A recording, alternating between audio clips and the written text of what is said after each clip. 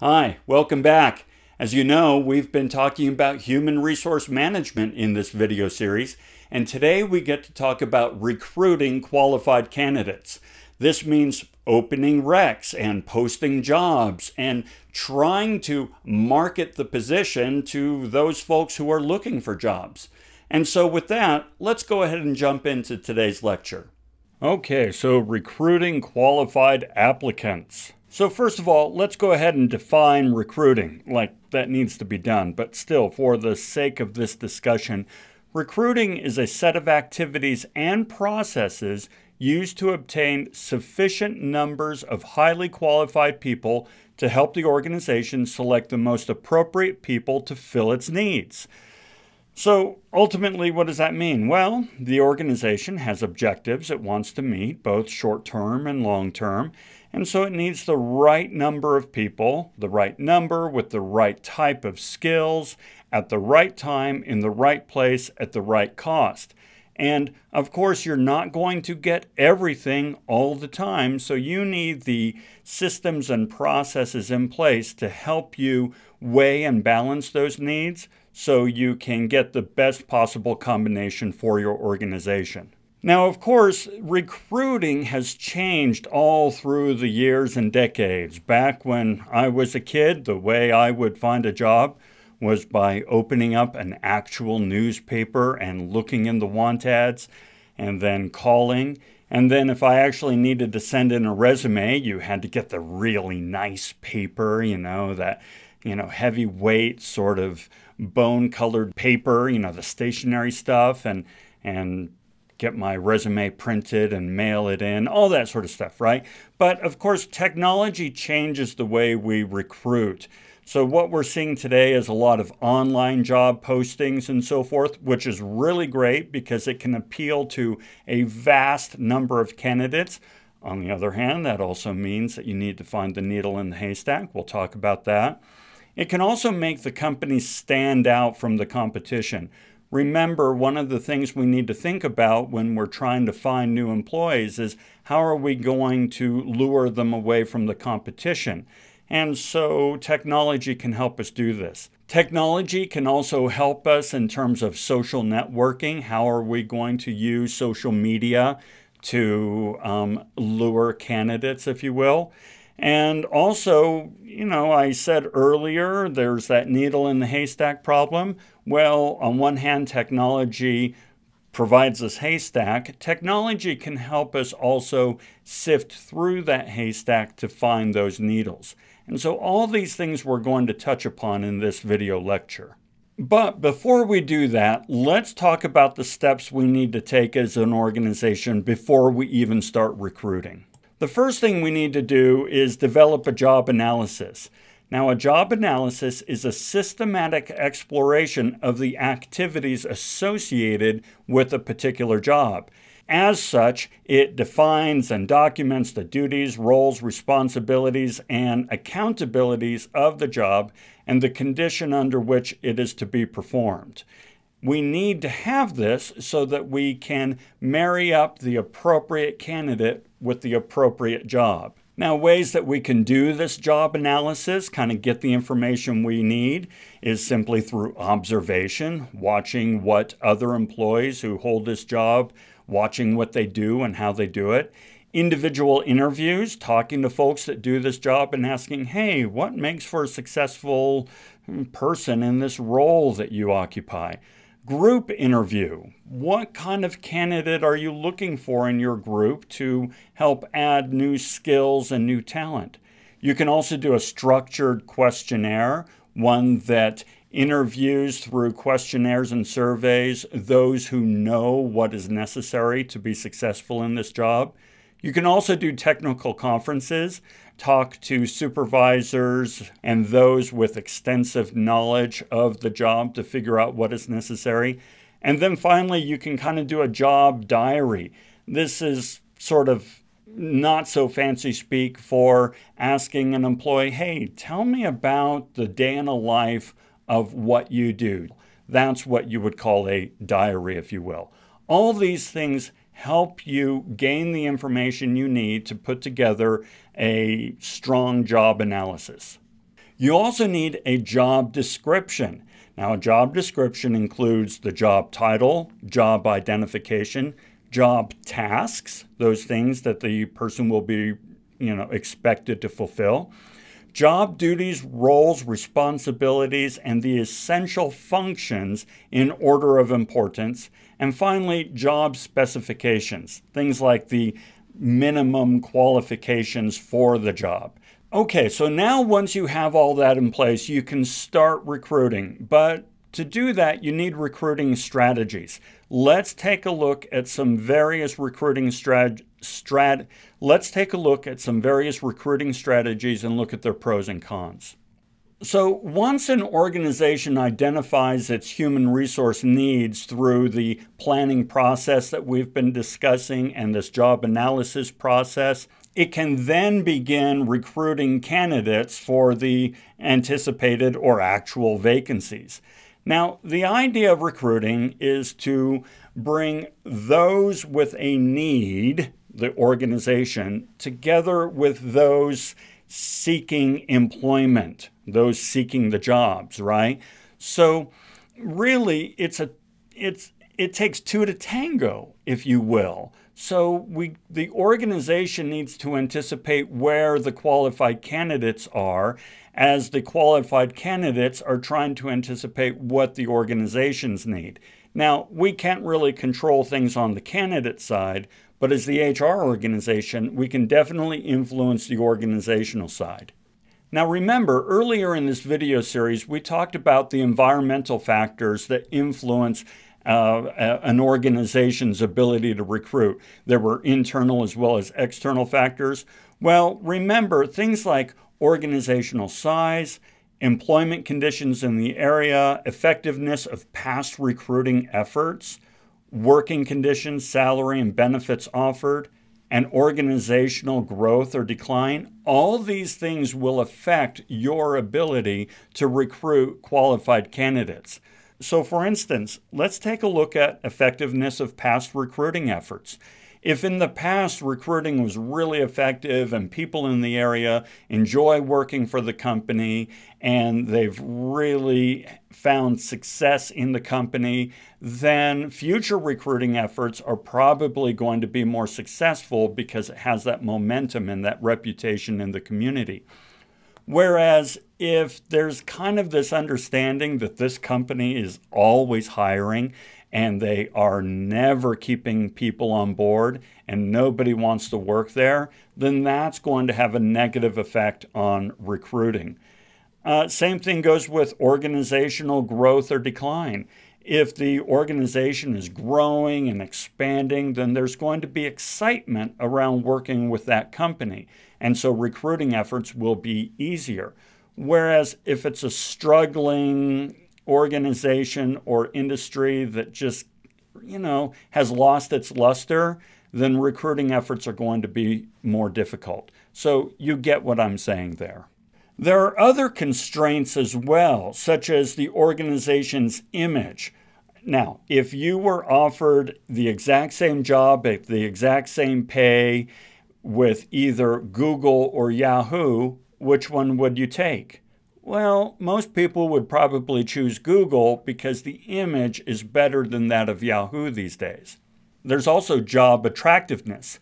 Would you like to work for Amazon? Sure, why not? Okay, well, what about if you're responsible for taping all the boxes and that's all you do? Well, that's not really an attractive job, so that might be harder to recruit for internal organizational policies, governmental policies and laws, recruiting costs, all these things are constraints that may prevent you as an organization, as a HR department, from recruiting as well as you would like. So, for example, let's say that you need to fulfill a position, but you have no budget. Well, what are you going to do? Well, well, I guess I'll just go onto social media. No, no, it's not going to be effective the, the lack of funding is going to be a constraint in recruiting the best candidates. Now, remember, there's also internal hiring, right? We're talking about external here, but before we go into depth on external hiring, let's take a look at internal hiring. The really nice thing about internal hiring is that it's great for public relations, it builds morale. You know what the employee is like. You know his or her performance, and so it's a known quantity. It's a lot less expensive. The candidate already has extensive knowledge of the organization, and it also opens up an opportunity to develop mid and top tier management talent. Now, there are disadvantages, of course. There's a possible lack of internal candidates. Maybe you just don't have anybody internally who can fulfill the role. It also might create infighting and morale problems, as some people always seem to get those jobs, while, gee, I never get the job. It may also perpetuate cultural problems. Maybe there are some behavioral cultural problems systemic in the organization. Well, just moving around the same people is not going to solve that. It means less diversity because you're just moving around your same population, and it could possibly mean fewer new ideas. Now, another aspect of internal hiring, although it's not really internal hiring, it has an internal element, are employee referral programs. This is where the company gives you as an employee some sort of incentive to refer somebody from the outside. So, yes, it's external hiring, but it has an internal element. Now, the advantages of this is that, well, you know what? You, as the employee, you're really motivated to make a good recommendation for the company because most referral programs will say, listen, we'll give you a $100 bonus if they're hired, but then we'll give you a $300 bonus when they stick around for six months. So it's in your best interest that you recommend the best employees. Furthermore, it also is in your best interest because it reflects on you the type of candidate that you refer. Another advantage is the availability of accurate job information from the recruit.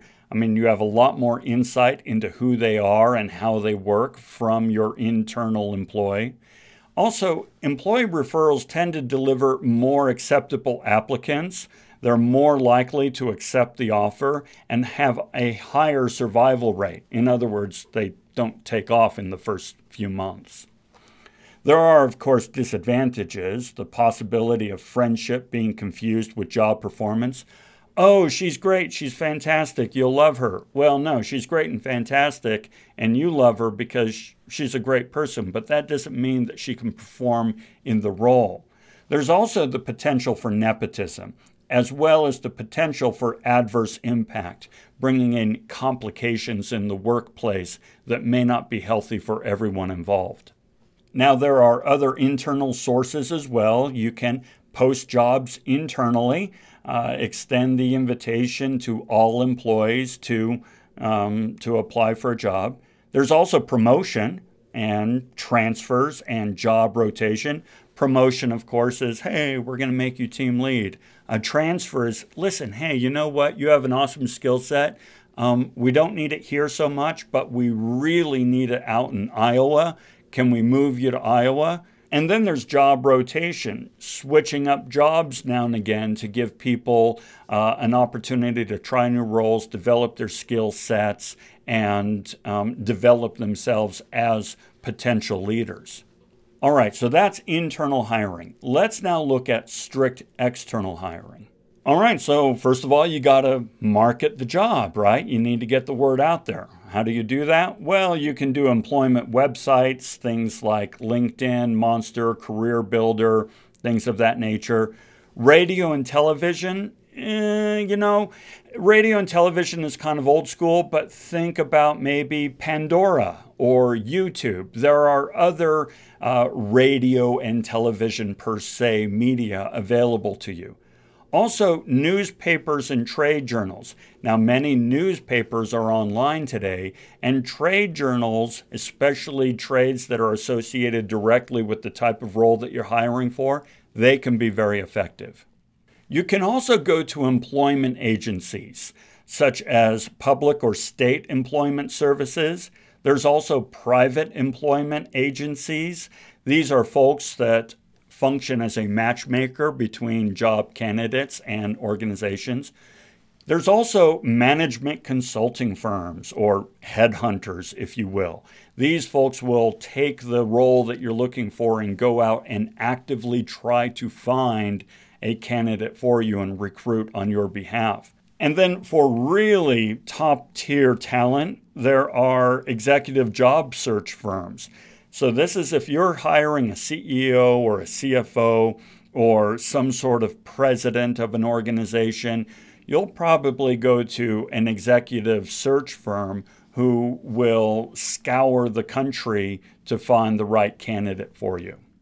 There are also schools, colleges, and universities. Many schools, colleges, and universities have uh, job offices, employment offices, if you will. Uh, they hold job fairs. Every once in a while, actually, even more than every once in a while, let me rephrase that quite often as a regular course of job development, these employers will work with colleges and universities to build in curricula that will develop the type of talent that they need both now and in the future. So, for instance, if you're taking a college course or if you have in the past, there's a better than fair chance that the things that you're studying were recommended by the local employers to the university or college as, hey, this is a skill set that we need, please teach it. There are also job fairs. Job fairs are great if you're trying to get the word out, if you're looking for a lot of people in a high turnover industry. So, for example, if you are hiring just a president of, say, a, a university, you're not going to go to a job fair to hire a president of a university. On the other hand, if you need 14 salespeople to work the state, job fairs are fantastic. There are also professional organizations, uh, such as, well, let's say accountants or even HR, SHRM, uh, the Society for Human Resource Management. These are organizations that have lots and lots of members who, of course, are professionals in that given field. So if you are hiring, say, for example, an HR generalist, you can go to SHRM and they will post the job for you, and then their membership will find it right away and apply for the job. I've done this many times and it works great. Now, all of this is hiring, such as internal hiring and external hiring, but sometimes hiring is not really an option or not even the best option. Let's look at some alternatives to hiring. You can look at contingent workers or independent contractors. Now, a contingent worker is somebody you hire on an as needed basis right? They're not a regular full time employee or anything. You're just hiring the, them for this one specific need, and then that's it. And it's a, it's a time constrained, specific, scoped need. On the other hand, an independent contractor is somebody who is generally self employed, has their own business, such as a consulting firm, and you hire them on and it could be for a specific need, it could be for a specific project, or it could be sort of indefinitely ish, but it's always easier to let go an independent contractor than it is to let go, lay off, a regular full time employee. So these are good alternatives to hiring an employee. Now, by the way, if you're somebody who is considering contingent work or temporary work, if you will, either as a contingent worker or an independent contractor, there are a lot of reasons why this might be a good option for you. First of all, you can earn income while maintaining a flexible schedule.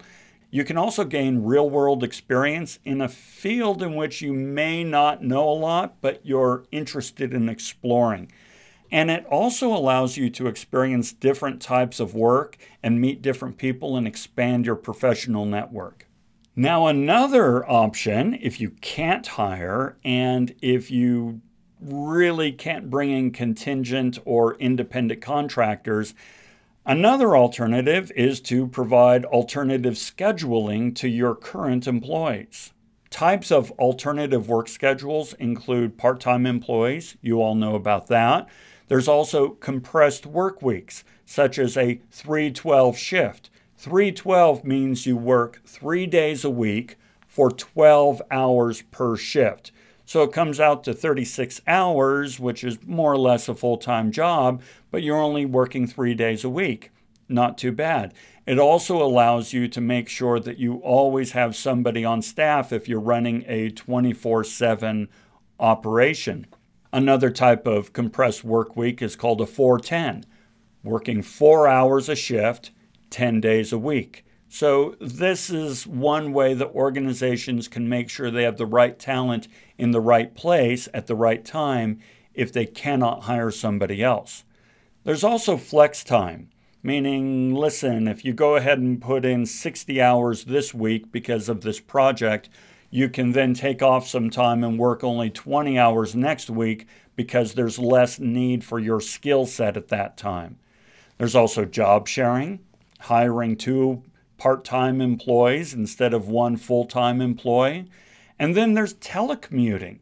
Now, this one kind of goes back and forth in terms of popularity depending on what year it is, but telecommuting or working virtually, as it's often called, can be an attractive option to some companies that cannot afford to transfer somebody around regardless of whether or not you hire internally, hire externally, or look at alternative work schedules and so forth, there are a lot of options available to HR organizations to meet the people needs of the company. Of course, all of this depends on really good planning on the part of HR, good forecasting and planning, which we've talked about, and about managing and training these employees as they come on board. And that's something that we'll talk about in future videos. And there you go. Now you have a pretty good idea of what goes into recruiting. Not that simple, is it? There's a lot of moving factors and a lot of different ways to recruit candidates. And it all depends on what kind of candidate you're looking for, what kind of job you're trying to fill for, and all kinds of other factors. So I hope you got something good out of this lecture. Stick with us, more to go over. Until then, have an awesome day.